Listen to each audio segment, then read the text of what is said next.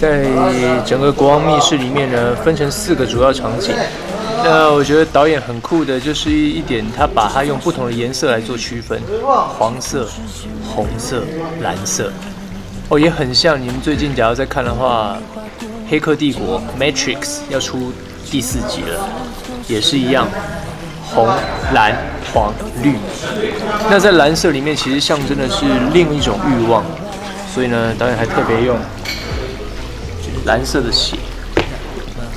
对男女之间的情爱啊，其实有时候血和欲之间。然后导演还用了水母，因为那时候我们讨论，其实水母来象征男女之间的情欲爱情，有时候它是有毒的，你可能会被扎伤，但是呢又很有欲望的伸张的那种感觉，在里面有很多的象征，反正你们自己看 MV 的时候可以去理解。之下有一爱一是最 lucky 的恋爱，爱你在情理之中意了，没剧本结局有一声亏待。你感冒了吗？还是睡了？